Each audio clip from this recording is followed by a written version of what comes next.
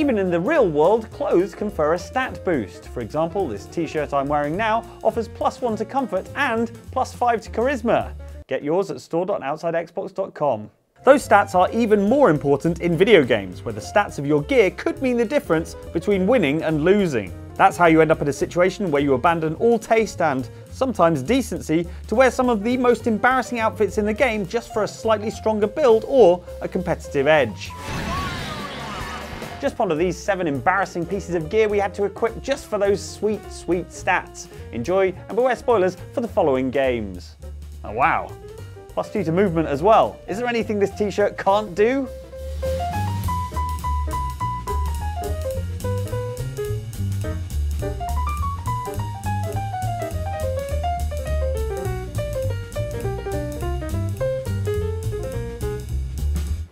This party is fit for adventure. Our strengths complement each other well. No challenge is beyond our combined might. True enough. They say dress for the job you want, not the job you have. But what if you're an archer in Dragon's Dogma 2 trying to break into the world of burlesque? Dragon's Dogma 2 is a game in which you, the heroic Arisen, set out to meet your destiny, accompanied by an entourage of hand-picked companions known as pawns, who fight by your side, heal you in battle, and boost you when you're out of breath from jogging 100 yards. Hang in there, Master. I am coming to assist. Am I carrying too much stuff? Yes. Will I get rid of any of it? No, I will not.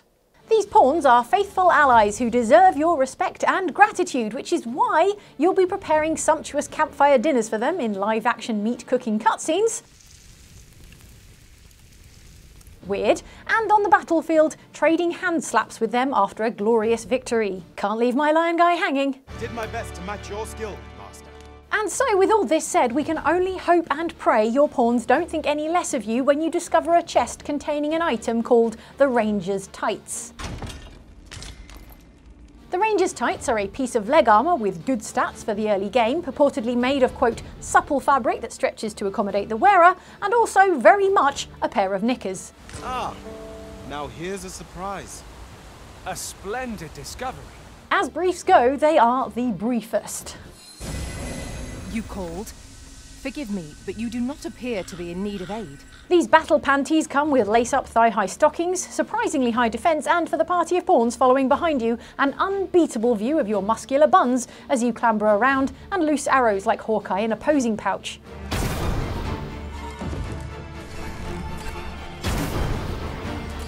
Name like the Ranger's Tights, we have to assume this is the preferred leg armour of Vermund's hard-working rangers, who hate to be restricted in their leg movements as much as they love a fresh breeze on their behinds. Will it change your working relationship with your pawns now they have to look at your butt cheeks all day? Let's hope not, because I, for one, would miss the victory hand slaps. Oh cool, actually, looks like we're all good. I knew my lion guy would get it. Suffering for years, Kratos, the once great general, now known as the Ghost of Sparta, had pledged himself as a champion to the gods of Olympus. In return, he hoped only to rid himself of the nightmares that haunted him for far too long. It's easy to forget there were a bunch of God of War games before the 2018 one where Kratos spends much of his time demonstrating harsh parenting techniques. I'm sorry. Do not be sorry. Be better. Someone's not getting that world's best dad mug this Father's Day. Still, this family unit is faring better than that of the previous games, where Kratos was tricked into killing his wife and daughter by OG God of War Ares in order to toughen him up. In that instant, the glory he had reveled in turned to horror. The image of his two final victims would stay with him for all his days. That sets Kratos on a multi-game quest for vengeance, and even the handheld PlayStation Portable wasn't safe, as God of War Chains of Olympus arrived in miniature mobile form in 2008. The game featured the same action from the PS2 versions and was just as demanding. Kratos never really was one for picking on someone his own size.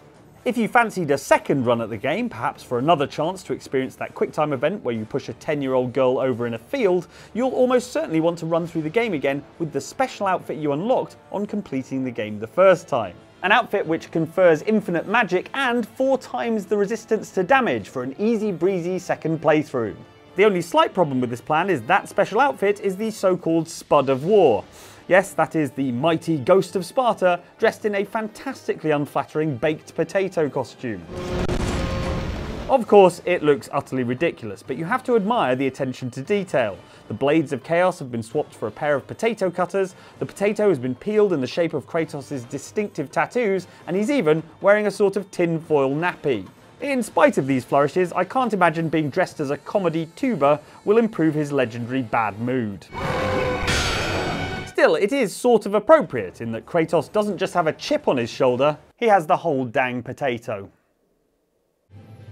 Is everything all right between us? What can I say? I like your style. It is often said that clothes maketh the person, and nowhere is this more true than in the Fallout series, in which wearing the right hat, jacket, or confusingly 1950s detective outfit can make a huge difference to your stats. What are your thoughts on our relationship?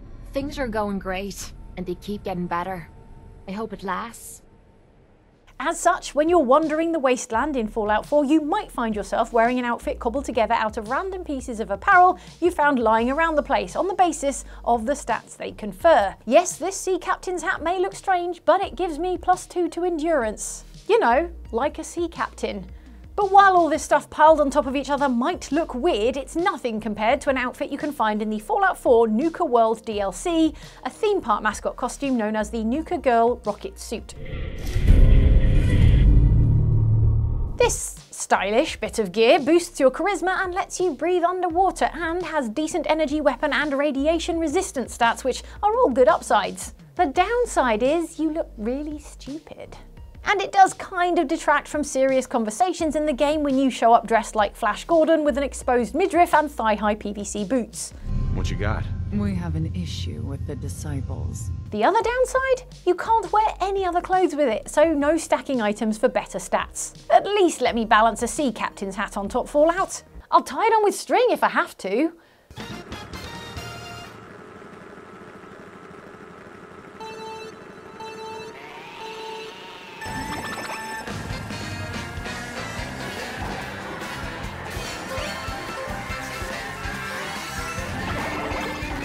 Everyone knows you can tell how fast a car is just by looking at it.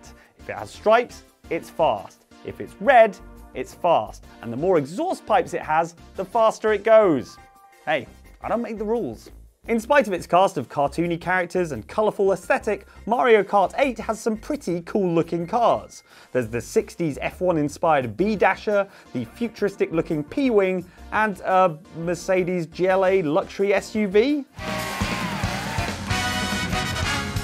Clearly this plumbing business is working out alright for Mario. The thing is, if, like we do, you're picking your Mario Kart vehicle based on aesthetics alone, it turns out you're a mug. Each of these kart chassis and the components you bolt onto it has a host of individual stats. And where there's stats, there's a meta. One of the most powerful metas is optimizing for Mini Turbo, which you can't see here. That's because it's an entirely hidden stat that was uncovered by data miners. In spite of it being hidden, Mini Turbo is a far more important stat than the standard speed and acceleration stats because it affects three aspects of the turbo boost you get when you drift. It affects the speed with which you earn your Mini Turbo, the percentage speed increase, and the duration of the boost. However, I've got bad news if you don't want to drive a kart that looks like a plastic child's toy. The mini turbo stat appears to be an attempt to help balance the less fast carts in the game, so as a result, it tends to be applied to the less exciting, less cool looking vehicles. The problem is, over a given lap, as long as you were drifting and boosting, the mini turbo carts were overall faster. So if you want to dominate online races, you're going to need to pick a cart like the Biddybuggy. Or the Mr. Scooty. Should I die of shame now or wait until I cross the finish line? It only gets worse from there. If you want to truly maximise your stats, you'll need to pick one of the heavyweight drivers who will look extra ridiculous in this tiny Fisher-Price My First Go-Kart. And then you'll need to bolt on the roller wheels, which are so tiny they make any vehicle they're fitted to look like a novelty shopping cart. Behold, the best possible racer in Mario Kart 8. No, I can't do it. I'd honestly rather lose.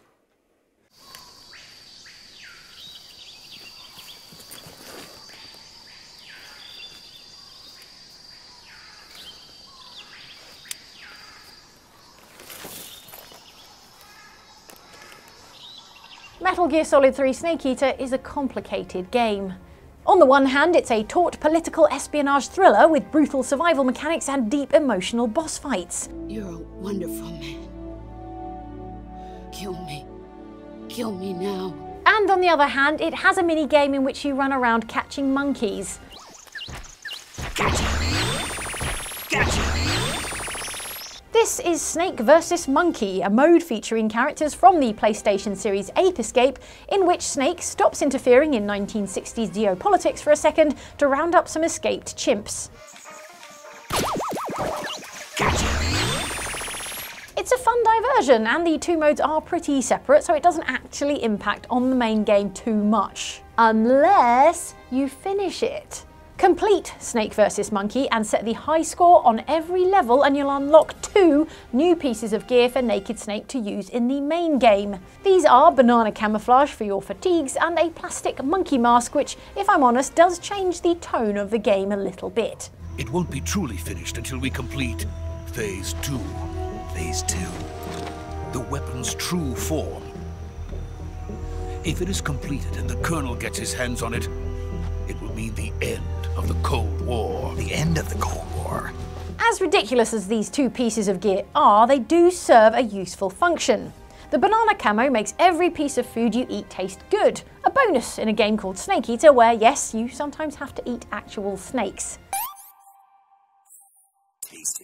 Whereas the monkey mask prevents dogs from attacking you, which is useful if you're one of those people who don't like being attacked by dogs. So yes, we will unfortunately be dressed for much of the game like we're wearing a Halloween costume we hurriedly bought from a gas station. Luckily, due to the top secret nature of these missions, the CIA will redact all of this. So no one will ever know.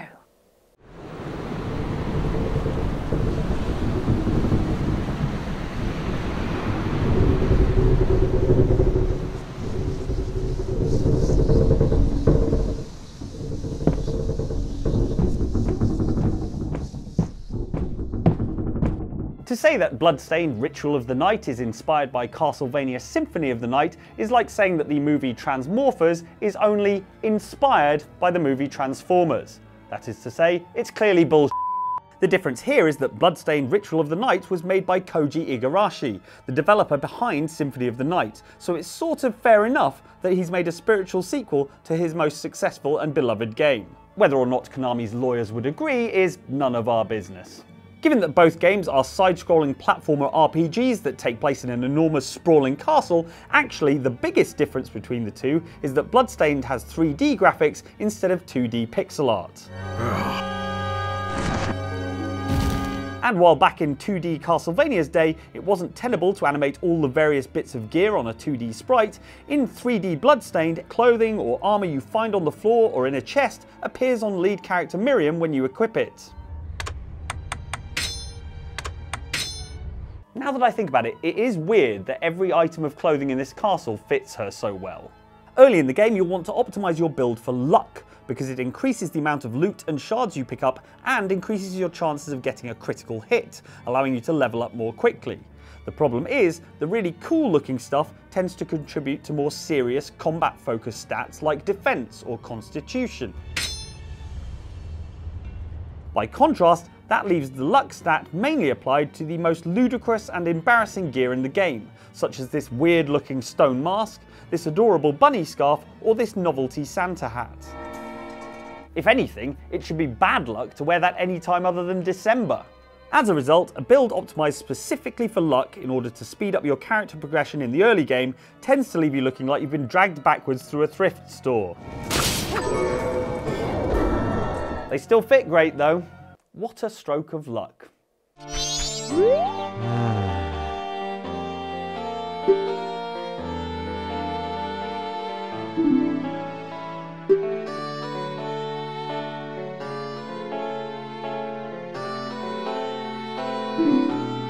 If you played N64 game The Legend of Zelda Majora's Mask, the main thing you remember is probably how the game takes place on a three-day cycle. At the end of which, a giant moon with a terrifying face crashes into the planet you're on, killing everyone. It's the sort of thing that's hard to forget. Almost as important to the game, however, were the masks that you could find throughout. Once equipped, some masks transformed Link into different forms, like a Deku or a Goron with corresponding powers.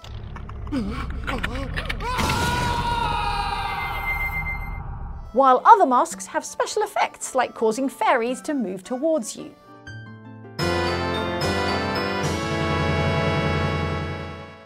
All of these masks have their different uses at different times, but the most consistently useful mask in Majora's Mask is the Bunny Hood, which you get as a reward for helping a man with his chickens. When equipped, this bunny hood lets you run one and a half times faster than usual and jump farther distances, and in an open world game like Majora's Mask, which requires you to regularly traverse long distances on foot, it's an absolute godsend. That moon will be here any minute, so any speed advantage is welcome. The problem is it looks deeply, deeply silly. The ears extend a good foot above Link's head, can be seen from every angle, and are available almost from the very start of the game. As such, there's a good chance if you played Majora's Mask, your Link spent the majority of your playthrough dressed like he was on his way to take part in an Easter parade.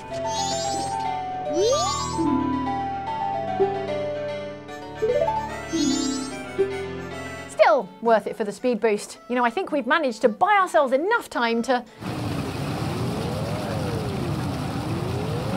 Nope, my mistake.